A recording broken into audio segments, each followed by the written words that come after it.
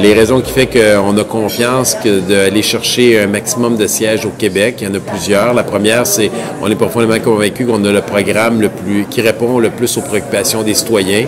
Ce programme-là, il a été monté suite à une tournée qu'on a fait au Québec, à l'écoute des Québécois, donc euh, qui a un objectif clair et c'est ce qui est revenu beaucoup dans les différentes rencontres avec les citoyens, c'est que les gens considèrent qu'ils sont surtaxés, surimposés, ont de la difficulté à arriver à payer les factures à la fin du mois. Donc, c'est une multitude de mesures qui ont été présentées depuis le début de la campagne pour faire en sorte de remettre plus d'argent dans les poches des citoyens, des citoyennes, mais je dirais surtout à la base d'en prendre moins dans leurs poches avec une diminution du taux d'imposition. Donc, plusieurs mesures comme ça que les gens ont l'opportunité de, voir défiler à tous les jours pendant la campagne.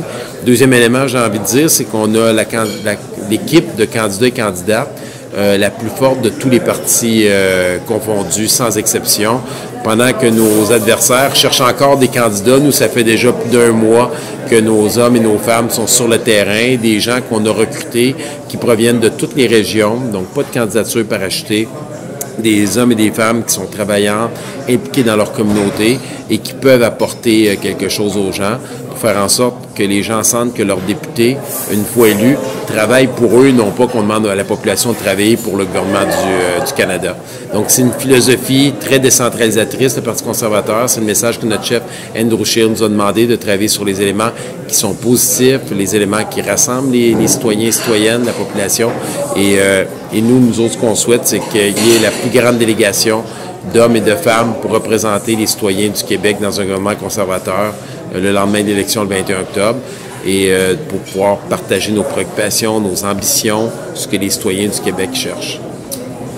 Celle-là, je vais poser la question, mais je ne suis pas sûr que je vais la diffuser. Ouais. Euh, en 2015, il y avait, on est en plein cœur là, des manifestations pour euh, contre le pipeline. Euh, ce que les jeunes demandent me disent, c'est c'est quoi le corridor énergétique? Qu'est-ce qui va passer là-dedans? Qu'est-ce qui va passer? Alors, on fait plaisir de répondre à la question. La première question qu'on doit se poser comme citoyen, c'est pas est-ce qu'on veut un pipeline ou on veut pas, c'est est-ce qu'on a besoin de pétrole encore. La réponse, c'est oui. Moi, ça fait deux jours sur la rive nord, là. Je me promène, j'ai été à Rosemère, chez Mascouche, j'ai été à Saint-Jérôme. Je vois des véhicules partout, là, puis je vois pas beaucoup encore de bornes de recharge. Donc, on a besoin encore de pétrole, c'est ça la réalité. Donc, à partir du moment qu'on dit ça, de quelle façon on doit le, transporter? De la façon la plus sécuritaire. Donc, l'idée du corridor énergétique, pour expliquer, il faut faire beaucoup de pédagogie par rapport à ça. On le sait. Les gens essaient de faire un parallèle avec EnergiS. EnergiS, ce projet-là est mort. Il a été mal ficelé, il a été mal présenté à la population, il a, ça a été bulldozé euh, dans la gorge des gouvernements provinciaux, municipaux. Donc, nous, c'est pas du tout ce qu'on fait, on veut faire.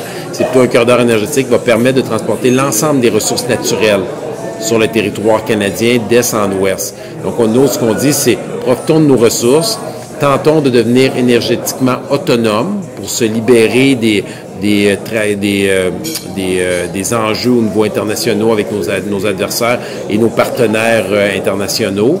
Et faisons en sorte que notre énergie, nos ressources naturelles, nous les prenions au Canada, de l'ouest en est, donc on parle du pétrole, du gaz naturel particulièrement, et on en a drôlement besoin.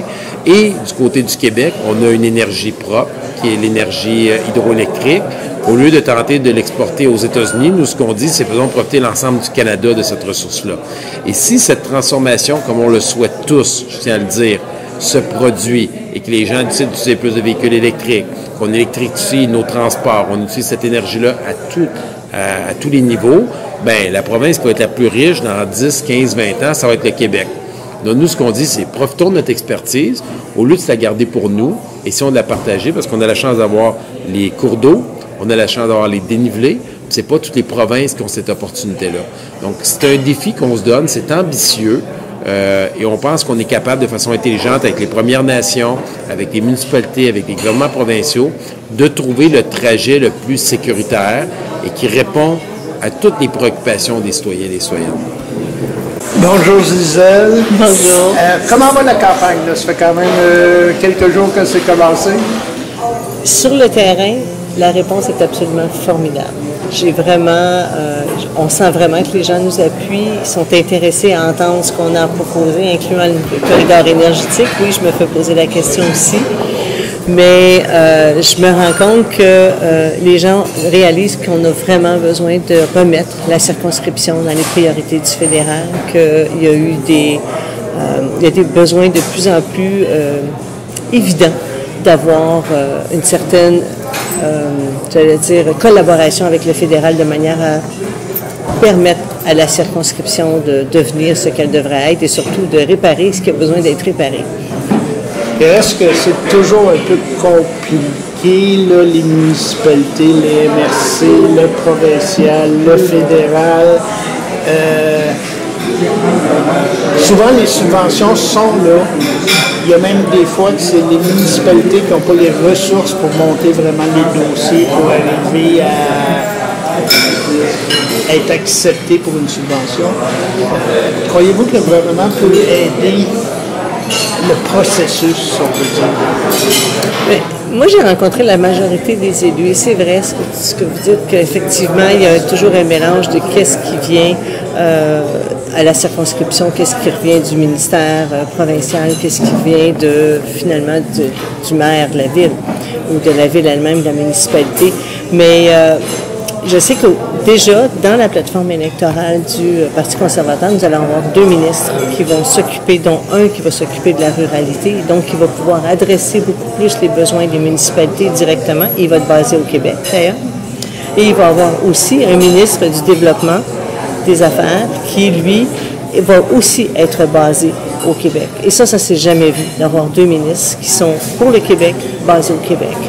En plus, j'ai pu constater que euh, quand on parle des différentes subventions, il y a énormément d'organismes qui m'en ont parlé.